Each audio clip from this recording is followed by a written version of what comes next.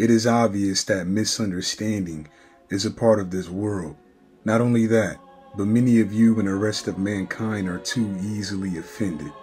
It's quite pathetic. I didn't make this channel because the idea was rooted in a selfish ambition. I'm carrying out someone else's intentions.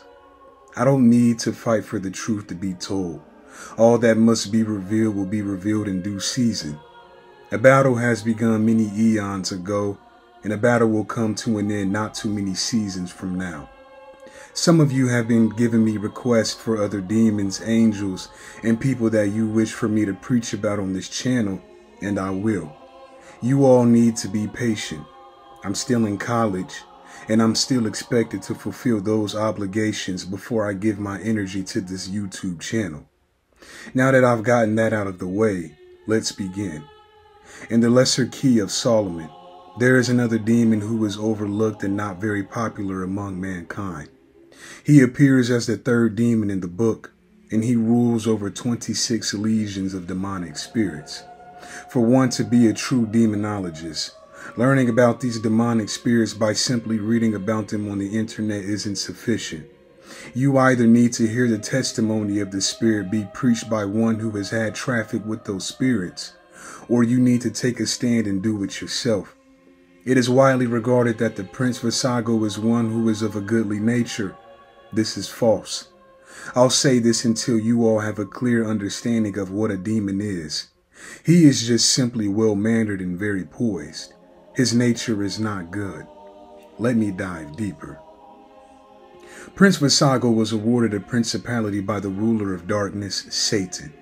Unlike Prince Belphegor, it isn't known to me or other human teachers in the Dark Kingdom as to why Prince Vassago was awarded a principality, but Satan must have deemed him to be suitable enough to receive one. Prince Vassago is a demon who possesses supernatural power that isn't usually seen by many of mankind. I would be operating in the spirit of air by giving you all a clear determination of where his power level stops. What I can say, though, is that due to his reserved nature and his mental reservations concerning mankind, he isn't too quick to pour his power into many of mankind. That being said, make no mistake, the demon prince is able to make war with many of the demons who reside in hell with him, and also isn't afraid to put up a fight against angels who serve the ruler of heaven. Prince Vassago was depicted as a man who rides a demonic crocodile, while also sometimes carrying a demonic fowl on either of his hands. Some of you have decided to entertain every thought that is put into you by this fallen world, yet many of you deny the existence of hell. Hell is growing larger every single day, but because of your denial, you've denied yourself spiritual information that could aid you before death. The kingdom of hell isn't just populated by souls that loved evil on earth or by demonic spirits. It is also populated by animals you see here on earth. Have you all not been paying attention? Some of the demons I have preached to you all about are also ones who look like animals. You all think that those demonic spirits that look like animals are just a representation of what attributes those animals carry, like King Bael. Wrong. That's exactly how they look. Demons can shapeshift. Some of you already knew this, but they all have an original form. The one who keeps his original spiritual form hidden from mankind is Satan. Although many have testified that Satan loves to appear as an extremely handsome man when he does appear before his human servants on earth. Prince Vassago's supernatural abilities are little known to mankind, as of hell, as of heaven, and God himself as well. He is described as being, quote, the prince of prophecy, but this title is inaccurate. All demons can give mankind the ability to see what is up ahead by way of either divination or simply them telling you about a future event themselves. He can uncover hidden treasures and can tell you of all things in the past and many things that lie up ahead, though not everything. When you hear the prince speak, you will notice right away that he is very easy to talk to. The sound of the demon prince's speech is a human male voice. Not deep, not high, just a normal human male's voice.